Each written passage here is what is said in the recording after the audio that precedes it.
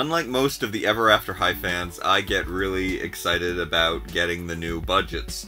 I think they're a great toy to play with. There's a new Tea Party line out, and I am ecstatic about it, and it's good to see new ones. I'm not a big fan of molded tops, I have to admit, but I think this is done well, and I will explain once I get her out of the package. I ordered these from Amazon. My boxes came really crushed. It's quite disappointing. I don't know why that happened. If they would have just put them in the box in a different way. The box itself didn't get crushed by the shipping company. Uh, they just squished them in for some reason. I don't know why. Or maybe they were squished before they put them in, but if they would have laid them this way, there would have been no squishing necessary. The box is the same for all three characters. I'll just show you the other two that I have. All came crushed. I also have this pretty cool daring. I didn't realize that I was going to go into quite this detail, but I probably should.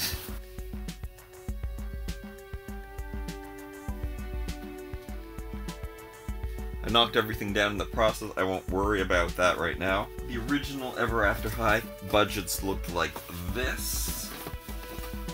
I was not very pleased about the molded tops, but I kind of got used to them because it's not so bad and it looks kind of like a corset or hard armor so it seemed to be alright and acceptable. And I kind of just liked them for what they were and they reminded me more of a She-Ra toy which we had back in the 80s that were action figures for girls that came with material accessories. So it was very reminiscent of that, and I just became accepting of that, and they still looked like China dolls, which is kind of what I think was the most endearing part of Ever After High. Later, they released them with smiling faces. So they changed it up a little bit. I do like the brooding faces that they used to have. Really can tell a difference with Raven who looks quite angry, and her new one where she's happy. This was the first Maddie to be released. You can see that they still made her shorter, which is really cool.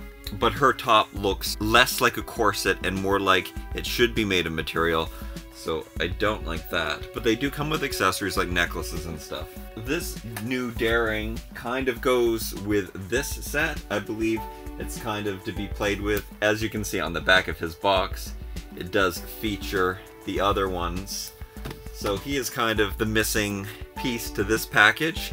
He is a great Ever After High budget to have. These were also released in single packages afterwards. Maddie, of course, was the new addition to that. But that now brings us to these Tea Party ones.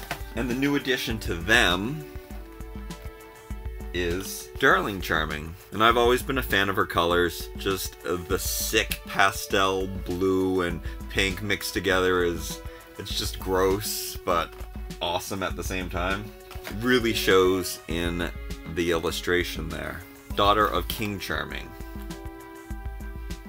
So yes, this is the box, my crushed Amazon box. Let me just break into this and we'll see how she stacks up. There are some negatives, there are some positives. The release of these ones, they did have their knee joints. So this is the first time that we have not seen knee joints on the dolls themselves. The shoes are removable, they're not molded on like the ultra budget Monster High ones that we have the cheer ones with Frankie and Draculaura. The heel on these shoes, really rubbery shoes, but they are real shoes. The foot mold looks a little different, but that would be because the whole leg mold is different. No knee joints. Not really good for sitting down, even though she doesn't look that bad sitting down. She could sit down under a tree. That's fine. In a chair, she would look strange. Only sitting on the ground for her. The shoes are very nice. They're a light, light blue almost white. And then she's got her skirt, which is a great pattern. And her blonde hair with the under blue. That looks amazing. Now the hat, this is the tea, what do they call? The Tea Party line. And I don't like when they do this, so it's disappointing. They did this with Gooliope in the Shriek-Wrecked they made her hat like this that the doll can't be turned 360 degrees. this is the most disappointing thing to me. The top, the molded on top, I don't mind at this time because it looks like porcelain. Now are these ball joints? No.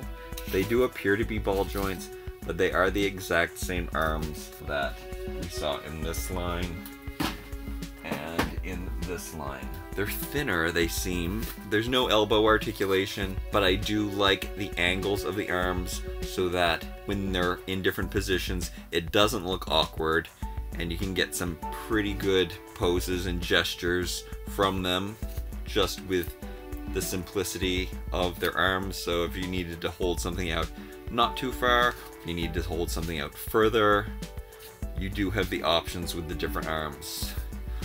And see the intricate details painted onto the top and how it just looks old fashioned. The skirt fits into this groove here. The way that it was molded, it even looks good when it's off. I think that's a great attention to detail that they were able to put details in there where it did hold the skirt up, but it also made it look great. Look, look at the fine details just of her panties, I guess is what you would call that. And she's got legs for days. Smaller torso with her, but really tall legs. Maybe this is how they're making the shorter dolls fit in. They'll all have the same torso and they will change their legs because whoa, look at those legs. Yeah, I think she's fantastic. I love her. Want to see her makeup? Less makeup, she's got a beauty mark, subtle. I like her sick, sick pastel colors. It's disgusting, it's royal, it's awesome. Hair is softer too, again with the monster high ultra budgets. The cheer girls, the hair wasn't as good of quality. It was kind of hay-like. It was really kind of hard and thick.